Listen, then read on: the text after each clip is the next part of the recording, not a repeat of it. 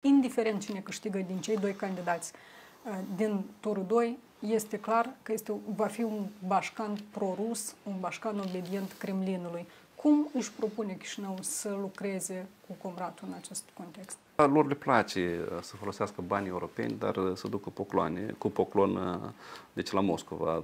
Ei și-au schimbat, doar nu doar e vorba de, de actuala bașcană al Găgăuzii, mai sunt câțiva polițieni de la Chișinău care peste noapte au început a spune că este limba română, peste noapte au început să spună că Chișinău este al doilea oraș românesc, peste noapte multe alte lucruri, okay. pentru că așa a venit metodici de la, de la Moscova. Ei au înțeles foarte bine că nu mai poți câștiga alegeri în Republica Moldova cu partide pro-rusie pe față, dar trebuie cumva să facă anumite partide de asta. E posibil.